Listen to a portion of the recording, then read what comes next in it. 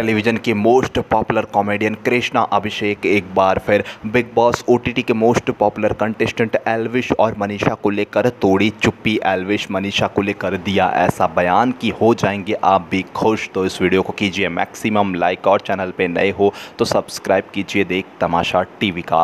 Big Boss OTT में जहाँ पर कृष्णा अभिषेक को सबसे प्यारा बॉन्ड अब एलविश और मनीषा का लगा था तो बिग बॉस के घर से बाहर आने के बाद एलविश यादव और मनीषा रानी की तारीफ़ करते नहीं थक रहे हैं। कॉमेडियन कृष्णा अभिषेक ने एलविश मनीषा को लेकर कुछ बड़े खुलासे किए हैं। एलविश यादव को लेकर कृष्णा ने कहा कि मुझे लगता है कि एलविश जितना सीधा है, उतना ही ज़्यादा एंटरटेनमेंट में मनीषा रानी कहीं से भी एलविश का पीछा नहीं छोड़ने वाली है। एलविश को अगर कोई सुधार सकता है तो वो मनीषा है। राव साहब सिर्फ़ और सिर्फ़ एक ही लड़की के सामने उनकी नहीं चलती और वो मनीषा रानी है। और मैं इनकी नोकझोंक देख के बहुत ज़्यादा खुश होता हूँ क्योंकि इनके जैसा प्यारा बॉन्ड शायद हमने सिडनास के टाइम पर देखा था सिद्धार्थ शुक्ला और शहनाज गिल। के टाइम पे जो बॉन्ड अब एलविशा का देखने को मिल रहा है। कृष्णा ने कहा कि बिग बॉस के घर में इतनी प्यारी जोड़ियाँ तैयार हो रही हैं, इससे ज़्यादा मैं और किसी के लिए खुश नहीं हो सकता हूँ। मैं बहुत ज़्यादा खुश हूँ कि मेरा भाई एलविश को मिल गई है प्यारी सी मनीषा रानी। अब मनीषा रानी और एलविश की दोस्ती इसी तरह से बनी रहे। इसी तरह से मैं दुआ करना चाहूँगा। भगवान से मेरी यही प्रार्थना है कि इन दोनों की जोड़ी को सलामत रखें